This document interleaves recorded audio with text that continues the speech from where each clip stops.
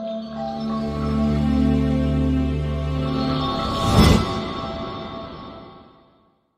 Guys Gulf ഓട്ടോമൊബൈൽസിന്റെ പുതിയ വീഡിയോയിലേക്ക് എല്ലാവർക്കും സ്വാഗതം. ഇന്ന് നമ്മൾ പരിചയപ്പെടാൻ പോകുന്നത് നമ്മുടെ ഫോർഡ് കസ്റ്റമേഴ്സിന് മെയിൻ ആയിട്ട് തോന്നുന്ന പ്രശ്നമാണ് വൈബ്രേഷൻ എന്ന് പറയുന്നത്.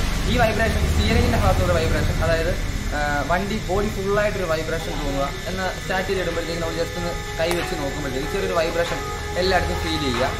അപ്പം ഇത് എങ്ങനെയാണ് ഇത് സംഭവിക്കുന്നത്? ഇതിന്റെ സ്പെയർ എന്താണ് ഇത് മാറേണ്ടതെന്നൊക്കെ നമ്മളിന്ന് പറയാൻ പോകുന്നത് അപ്പോൾ മെയിനായിട്ട് നമ്മൾ ഇതിനകത്ത് ആദ്യം അറിഞ്ഞിരിക്കേണ്ടത് എൻജിൻ മൗണ്ടിങ്ങിനെ പറ്റിയിട്ടാണ്. എൻജിൻ മൗണ്ടിങ് എന്ന് പറയുന്നത് മൂന്ന് തരത്തിലാണ് വരുന്നത്. A mount B mount C mount അപ്പം എ മൗണ്ട് എന്ന് പറയുന്നത് ഹൈഡ്രോളിക് ആണ്. ഇത് നമ്മുടെ എൻജിന്റെ ടൈമിങ്ങിന്റെ ഭാഗത്തായിട്ടാണ് ഈ എ മൗണ്ട് വരുന്നത്. അടുത്തത് ബി മൗണ്ട് ആണ്.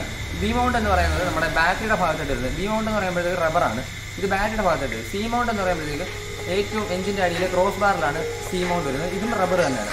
അപ്പം ഈ മൂന്ന് മൗണ്ടിനും കംപ്ലൈന്റ് സംഭവിക്കുമ്പോഴാണ് നമ്മുടെ വണ്ടി ഫുള്ളായിട്ട് ഒരു ചെറിയ രീതിയിലുള്ള വൈബ്രേഷൻ സ്റ്റിയറിങ്ങിന്റെ ഭാഗത്ത് ചെറിയൊരു വൈബ്രേഷൻ എന്നതൊക്കെ സംഭവിക്കുന്നത്.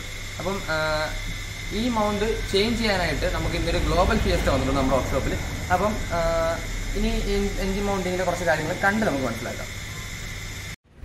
ഇതാണ് നമ്മുടെ മൗണ്ടിങ് എന്ന് പറയുന്നത്.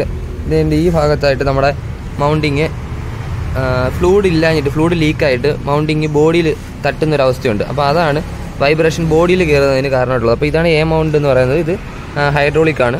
അപ്പം ഇതിന്റെ ഒരു പുതിയ മൗണ്ട് ഞാൻ കാണിക്കാം. അപ്പോൾ ഇതാണ് ഗ്ലോബൽ ഫിയസ്റ്റയുടെ മൗണ്ടിങ് വരുന്നത്. എ മൗണ്ടാണ് അപ്പോൾ നമ്മുടെ ബി മൗണ്ട് എന്ന് പറയുന്നത് ഈ ഭാഗത്തായിട്ടാണ് ബി മൗണ്ട് വരുന്നത്. ബാറ്ററിയുടെ ഏറ്റവും താഴെ ഭാഗത്തായിട്ടാണ് ബി മൗണ്ട് വരുന്നത്. സി മൗണ്ട് എന്ന് പറയുന്നത് എഞ്ചിന് നേരെ താഴെ ക്രോസ് ബാറിൽ ഏറ്റവും അടിയിലായിട്ടാണ് വരുന്നത്.